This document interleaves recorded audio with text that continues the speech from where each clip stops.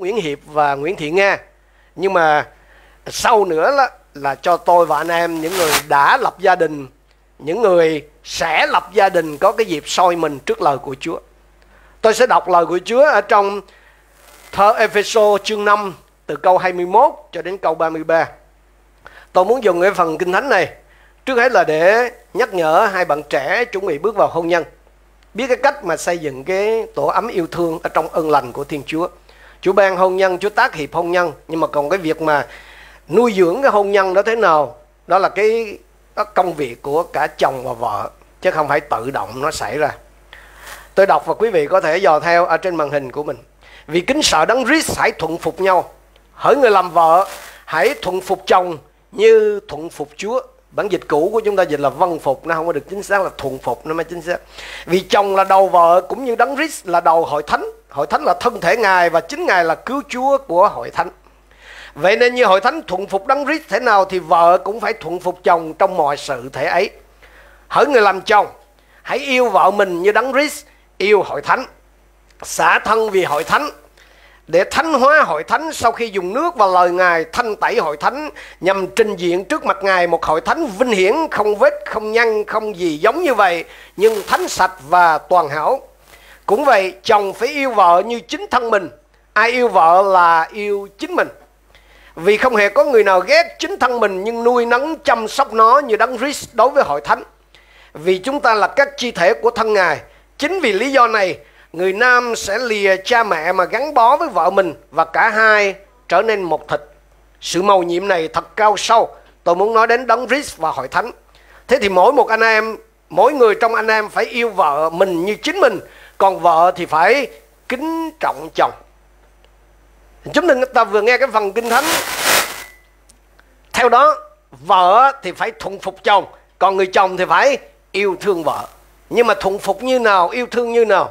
Tôi và anh em sẽ lần lượt để cho lời của Chúa phán với chính mình. Xin hãy nhớ là sứ điệp này không chỉ dành riêng cho cô dâu chú rể ngồi đây, mà là cho tất cả chúng ta, những người đang ở trong hôn nhân và sắp bước vào hôn nhân, có cái dịp soi mình, thử liệu tôi và anh em có theo đúng cái chuẩn mực của lời Thiên Chúa không? Nhớ, lời của Chúa không phải chỉ dành cho những người đi đạo. Ở đây là luật trời, cho nên là tất cả những ai mà nếu soi chiếu theo cái chuẩn mực đó, đó thì sẽ được phước. Thứ nhất, cái bổn phận của người nữ, tức là bổn phận của người vợ cơ đốc là gì? Đó là thuận phục chồng. Nhưng mà thuận như nào? Thuận phục như thuận phục chúa. Vợ phải thuận phục chồng như thuận phục chúa. Thuận phục là thái độ, thưa anh chị em. Còn vâng lời là hành động. Chúng ta có thể vâng lời, nhưng mà mình không phục à. Bởi vì nó là cái thái độ. Thuận phục là sẵn lòng, là tự nguyện đặt mình với cái thẩm quyền, cái uy quyền của người khác. Ở trong cái trường hợp ở đây là đặt mình với cái thẩm quyền của chồng mình tự nguyện vui lòng thuận phục chứ không phải là bị thuận phục nha. Được thuận phục chứ không phải là bị thuận phục á. Cô dâu nhớ chuyện đó. À, nhiều khi mình vô thế mình mới thuận phục không? Nếu như vậy không đẹp lòng chúa. Thuận phục chồng không bao giờ cái hàm ý là thấp kém hơn mà là nó chỉ đề cập đến cái trật tự mà đức chúa trời thiết lập ở trong gia đình thôi thưa anh chị em. Ở trong gia đình thì chồng là đầu vợ.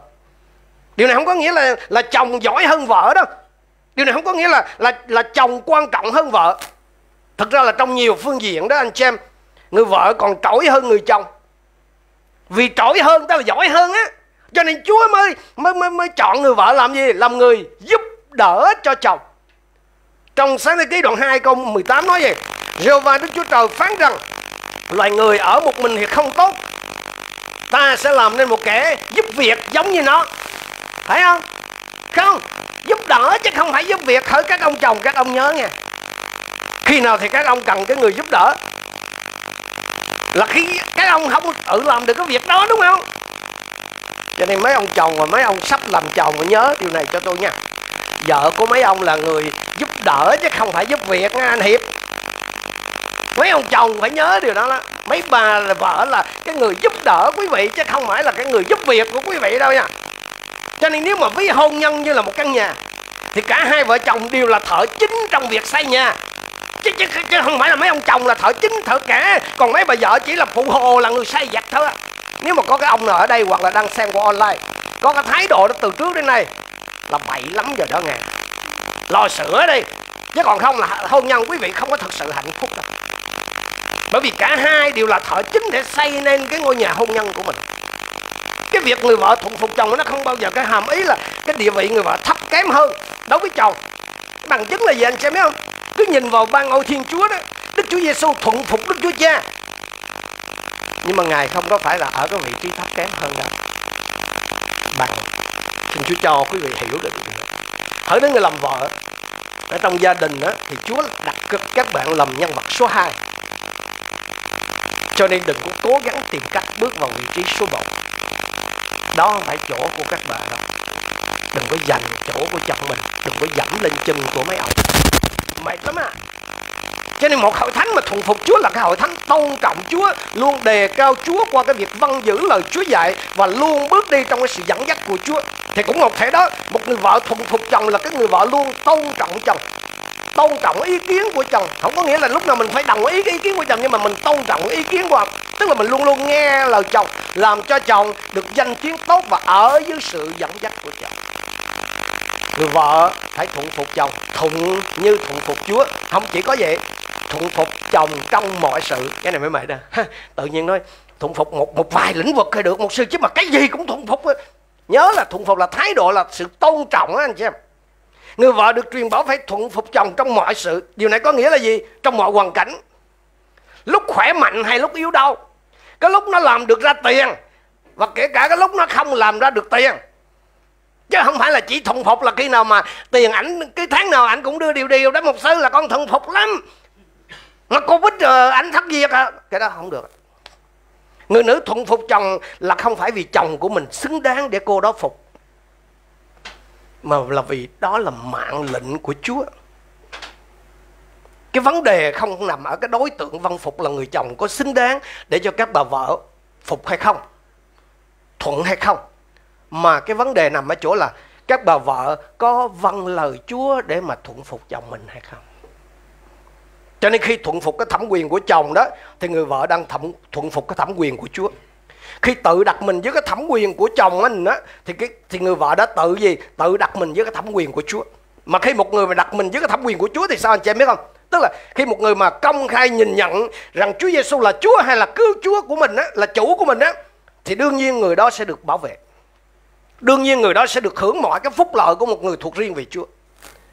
Nếu có ai trong quý vị sáng hôm nay ngồi tại đây hoặc là đang xem qua online giờ này mà chưa một lần tự đặt mình, tức là đặt cái cuộc đời của quý vị dưới quyền làm chủ của Chúa Cứu Thế Giêsu tức là chưa một lần tiếp nhận Đức Giêsu làm cứu Chúa đó. Chưa từng công khai xưng nhận Đức Giêsu Christ làm chủ của cuộc đời mình, thì hãy làm điều đó ngay hôm nay. Quý vị có thể nhờ một cái người tin thờ Chúa nào đó giúp đỡ mình, hoặc quý vị cũng có thể chân thành cầu nguyện rất là đơn sơ là, Chúa sơ con xin nhìn nhận cái quyền chủ thể của Ngài trên con. Xin cho con được làm con của Ngài. Amen. Nếu quý vị chỉ thành tâm cầu nguyện với Chúa như vậy thì chắc chắn Chúa sẽ nghe. Chúng ta quay trở lại với cái bổn phận uh, thuận phục chồng của cái người làm vợ trong Chúa. Hẳn nhiên là thuận phục chồng không phải lúc nào cũng dễ dàng đâu anh chị em. Đúng không? Thuận phục chồng không phải lúc nào cũng dễ đối với những người vợ đâu. Nhưng hãy nhớ rằng đó là cái mạng lệnh của Chúa đối với các cô chứ không phải là của là chứ không phải là chồng của các cô, các bà có xứng đáng để mà các cô các bà phục hay không, trọng hay không. Nhưng mà nhiều bà có thể bên dưới giờ này không dám giơ tay nhưng mà cũng ấm ức nhưng, nhưng nhưng mà trường hợp chồng của em yêu cầu làm chuyện sai quấy thì sao sư chả chả nhẽ em cũng phải nhắm mắt làm theo nè. Thưa anh chị em đức chúa trời thiết lập nhiều cái mức độ uy quyền hay là thẩm quyền khác nhau ở dưới cái uy quyền tuyệt đối của chúa. Những cái thẩm quyền nó gồm có là những cái người lãnh đạo chính quyền này hay các tổ chức xã hội nè rồi những người lãnh đạo thuộc linh nè rồi những người lãnh đạo ở trong gia đình thì gồm có cha mẹ và chồng và cái mục đích của mọi cái cấp độ uy quyền mà mà được ủy thác đó là gì? Là bảo vệ, là ban phước, tức là làm điều tốt lành, là phúc lợi cho những người ở bên dưới cái uy quyền đó. Thế thì những người lãnh đạo mà Chúa lập nên ở trong xã hội, ở trong gia đình hay là trong hội thánh á, trong, đó là những đầy tớ của Chúa. Chúa là chủ, là lãnh đạo tối cao, đúng không ạ? Thì trong trường hợp mà cái ý muốn của người chồng đi ngược lại với luật của của của Chúa, tức là lời Đức Chúa Trời đó, thì sao? Thì khi đó người vợ sẽ chọn tuân thủ theo cái luật cao nhất, đó là lời của Chúa tuân thủ theo cái luật cao nhất, đó là lời của Chúa. Khi người chồng có những cái ý muốn nó nghịch lại hoàn toàn với lời Chúa, thì người vợ được phép không vâng theo. Nhưng mà điều đó không có đồng nghĩa, không có đồng nghĩa với cái chuyện là chị em coi thường chồng mình. Nhớ vâng lời là hành động còn thuận phục là thái độ. Không vâng lời, mấy ông ấy làm cái chuyện sai quấy nhưng mà vẫn giữ cái thái độ tôn trọng mấy ông ấy. Đó là thách thức cho những người làm vợ. Không phải vì cá nhân ông đó không phải vì con người của chồng mà vì cái thẩm quyền, vì cái cái vị trí mà Chúa đặt để cái người chồng ở trong gia đình. Cho nên các bà vợ cần phải cậy ơn của Chúa để thuận phục chồng mình. Như vậy thì cái bổn phận của người vợ tin thời Chúa là thuận phục chồng mình. Thuận phục chồng như là thuận phục Chúa và thuận phục chồng trong mọi sự. Nhưng mà không chỉ có cái bổn phận của người vợ thôi đâu. Người chồng cũng có bổn phận. Bởi vì trước mặt Chúa cả hai là ngang nhau. Người chồng thì sao? Người chồng phải thương yêu vợ mình bổn phận của người chồng ở trong Chúa là thương yêu vợ mình yêu như nào thứ nhất là yêu như đấng Christ đã yêu hội thánh Chúa không có truyền bảo cho người chồng là phải giữ, phải làm cho vợ mình thuận phục mình. Không, Chúa không bảo như người chồng thì điều đó. Đó không phải là sự kêu gọi của người chồng. Mấy ông không có cần thiết phải tìm đủ mọi cách để làm cho vợ mình thuận phục mình. Người chồng được Chúa truyền bảo là phải yêu thương vợ mình. Tức là sống làm sao ấy để cho vợ mình nó tôn trọng mình. Sống làm sao mà để cho vợ mình nó phục mình. Tự nguyện vui lòng phục chứ không phải là bị bắt ép. Chú rể và những người làm chồng, xin hãy nghe điều đó tôi nói với anh chị em, không có bà vợ nào mà muốn đứng đầu sóng ngọn gió hết đó không có bà nào muốn cầm quyền lãnh đạo sai khiến chồng con hết đó bà nào cũng vẫn muốn có cái nơi trốn để mà, gọi là để núp gió hay đục bão thôi, đúng không bà nào cũng muốn là có cái bờ vai vững chãi để bà ấy nương tựa, chứ không có bà nào mà muốn nhảy nhào ra đứng hứng gió sống trong làm lãnh đạo trong nhà đâu. Nếu mấy ông chồng mà làm đúng chức phận của mình, nếu mấy ông mà làm đúng cái chức phận là làm đầu ở trong gia đình của mình như Chúa thiết lập á, thì không có bà nào dành chỗ mấy ông đâu. Cho nên hãy cậy ơn của Chúa mà đứng đúng vào vị trí của mình đi nghe mấy ông chồng. Nhớ nha anh hiệp. À chồng là phải thương vợ thương như nào, thương cỡ nào. Thương như đấng Christ thương hội thánh, không phải lên Facebook và tóc tóc là vợ yêu vợ yêu. Dẹp cái đó đi, không phải. Thương là như Chúa thương hội thánh thương như nào. Đấng Christ tức là Chúa Giêsu á, thương hội thánh tức là chúng ta đây này. Khi chúng ta còn ở trong tội lỗi. Chúa thương hội thánh tức là Chúa thương chúng ta khi tôi và anh em chưa xứng đáng, tức là còn chưa xứng đáng với cái tình yêu đó. Điều này có nghĩa gì? Chúa thương tôi và quý vị từ khi mình chưa đi đạo. Chứ không phải mình đi đạo rồi Chúa mới thương. Không phải từ khi mình tin thờ Chúa rồi Chúa mới thương. Chúa thương tôi và quý vị khi chúng ta còn sai phạm đủ các thứ. Chứ không phải là chờ cho mình tốt đủ rồi Chúa mới thương. Hỏi những người làm chồng, hãy nhớ điều này. Hãy thương vợ mình không phải vì cô đó tốt đủ. Không phải vì cô đó xứng đáng. Mà gì? Mà theo gương của Chúa thương cô đó hay là vâng theo cái mạng lệnh của Chúa mà thương vợ của mình? Không phải vì cô đó xứng đáng hay không, mà là vì các ông có vâng lời Chúa để thương cô đó hay không? Mà thương làm sao anh chị em? Kinh thánh cho chúng ta biết nhiều thứ lắm. Trong trong Corinto thứ nhất đoạn 13 câu 4 câu 7 đó, chúng ta có thể nhìn thấy một vài điều. Tình yêu thương hay nhịn nhục, tình yêu thương hay nhân từ, tình yêu thương hay không ghen tị, không khoe mình, không kiêu ngạo không cư xử trái lẽ, không kiếm tư lợi, không nhạy giận không nuôi dưỡng điều dữ, không vui về điều bất công, nhưng vui trong sự thật. Tình yêu thương hay dung thứ mọi sự, tin mọi sự, hy vọng mọi sự, chịu đựng mọi sự. Tôi diễn nôm là như này. Yêu vợ là nhịn chịu vợ. Yêu vợ là sao? Là đối xử tốt với vợ, là không hơn thua với vợ, là không khinh khi, là không ích kỷ, là không kiếm chuyện, là không thù dai, là sẵn sàng bỏ qua là tin tưởng vợ tôi diễn nôm cái cái phần kinh thánh này đó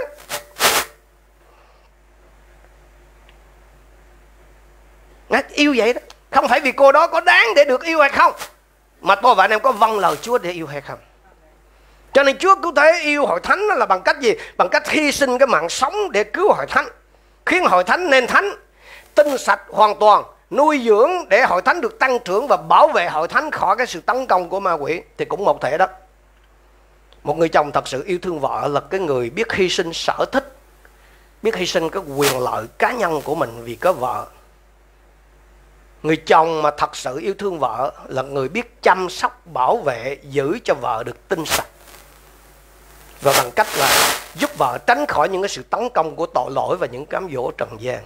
Ngày hôm nay nhiều khi những bà vợ làm được cái việc này đối với chồng chứ mấy ông chồng không làm được hãy thay đổi. Bởi vì tôi và anh em không còn thuộc về thế giới. Tôi và anh em thuộc về vương quốc thiên đàng. Tôi và anh em cần phải thay đổi cái lối sống đó. Chồng phải yêu vợ như đấng Christ yêu hội thánh. Tức là yêu kể cả khi cô ấy không xứng đáng. Và, và yêu vợ như nào? Như chính thân mình. Chồng yêu vợ không chỉ như đấng Christ yêu hội thánh mà chồng yêu vợ như chính thân mình. Nói đấng Christ yêu hội thánh hơi xa vời quá đúng không? Nhưng yêu chính thân mình. Yêu chính thân mình là sao? Là săn sóc là nuôi nấng nó là lắng nghe những cái đòi hỏi của nó. Thí dụ như đói quá mà không có ai pha cà phê cho mình uống không có ai nấu mì cho mình ăn thì tự đi nấu ăn đúng không? Có ông nào mà đói quá rồi nằm dài đó chết không? Yêu vợ là yêu như chính thân mình đó, thương người thương như thể thương thân ấy. tức là lắng nghe những cái cái đòi hỏi của nó. Nhiều khi mấy ông chỉ để là mấy đáp, mấy bà đáp ứng nhu cầu của mấy ông thôi. Kể cả vấn đề chuyện tình dục cũng vậy mấy ông không có quan tâm tới chuyện đó. Chồng yêu vợ như chính thân mình là đề cập đến bổn phận của người chồng. Trong cái việc chu cấp cho gia đình riêng của mình, đó là quan tâm, đó là để ý đến những cái nhu cầu của vợ.